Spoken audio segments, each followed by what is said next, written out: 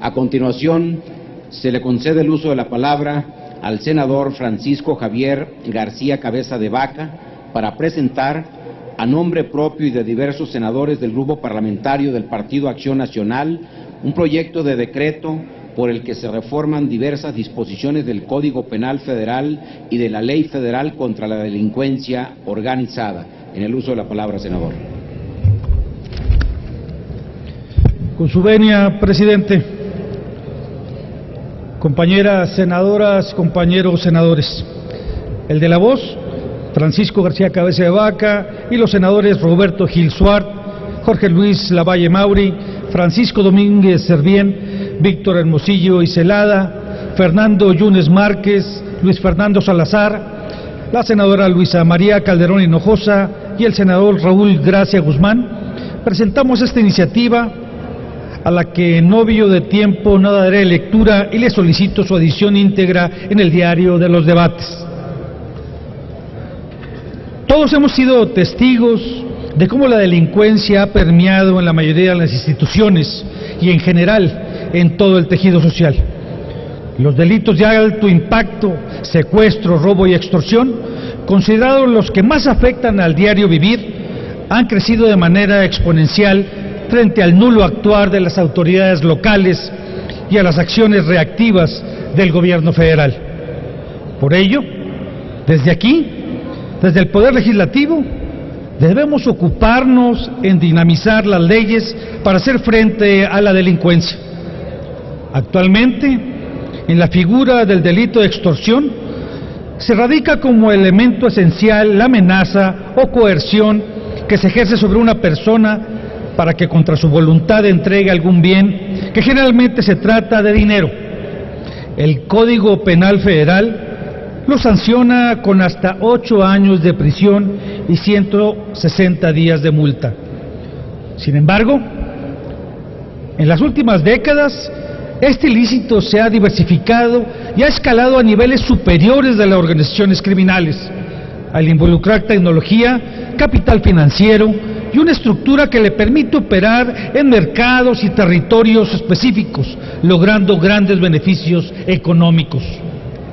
La evaluación y comportamiento de este delito permite identificar varios supuestos bajo los cuales opera, como es el engaño y la amenaza telefónica, o por medios electrónicos, hasta el cobro recurrente a cambio de protección ilegal, o como mejor se le conoce, o coloquialmente el cobro de derecho de piso.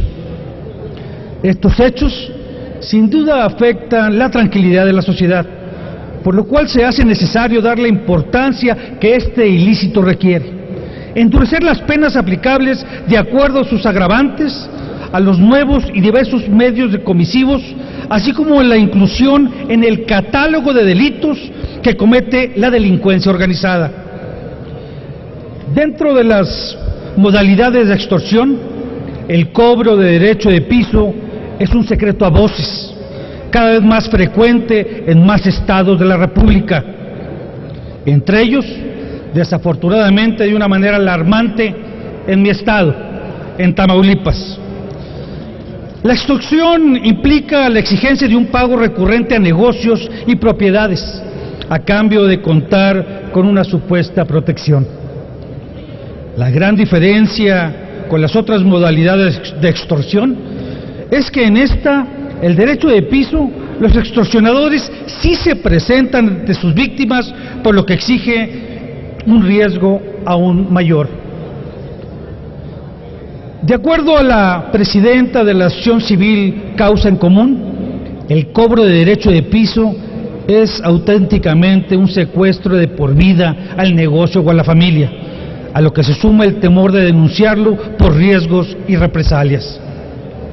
Compañeras y compañeros senadores, en el cobro de derecho de piso estamos frente a un impuesto al crimen. Así es, un impuesto que hoy en día los grupos delictivos están pidiendo y extorsionando a los sectores productivos.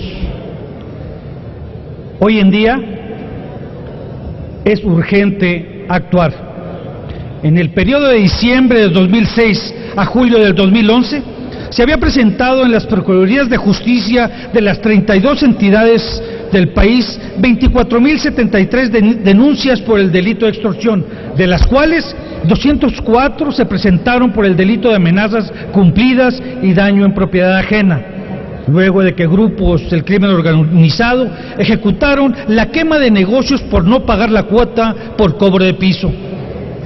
Y de acuerdo a las cifras de la encuesta nacional de victimización de las empresas, en el año 2011, a nivel nacional, la extorsión ocupó el tercer lugar como delito más frecuente a comercios y servicios, como también a la micro y pequeña empresa, y tuvo una cifra negra del 88,1%.